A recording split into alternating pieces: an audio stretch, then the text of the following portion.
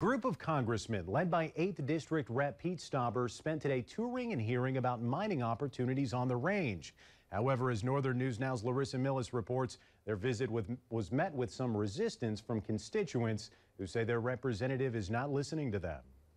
It's uh, my pleasure to welcome my colleagues. Uh, With a flank of fellow Republican to, uh, congressmen at his side, Representative Pete Stauber hosted a field hearing on mining in Mountain Iron the great state of- Tuesday. Mining is our past, our present, and our future, and I can tell you our future is bright. Tuesday morning, Stauber and his cohort of members from the House Committee on Natural Resources toured New Range Copper Nickel before the hearing.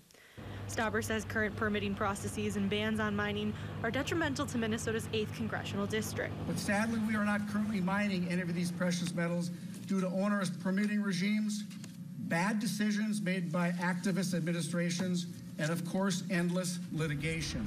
Specifically, Stauber pointed to a 20 year ban the Biden administration recently put on mining within the Boundary Waters Canoe Area watershed. That ban directly impacts Twin Metals, which has proposed building an underground copper nickel mine, a project Stauber has supported.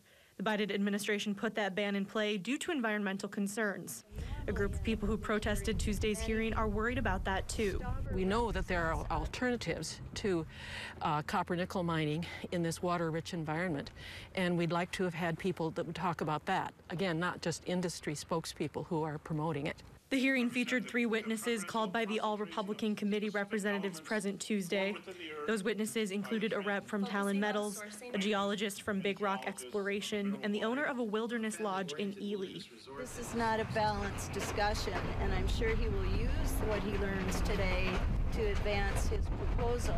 Stauber says all of the Democratic members of the committee were invited, but declined to attend and call their own witnesses. In Mountain Iron, Larissa Millis, Northern News Now. In March, the House passed the Lower Energy Costs Act, which Stauber and fellow Republicans say would expedite the process of permitting for energy resources like oil, gas, and minerals. They say they are now calling on the Senate to do the same.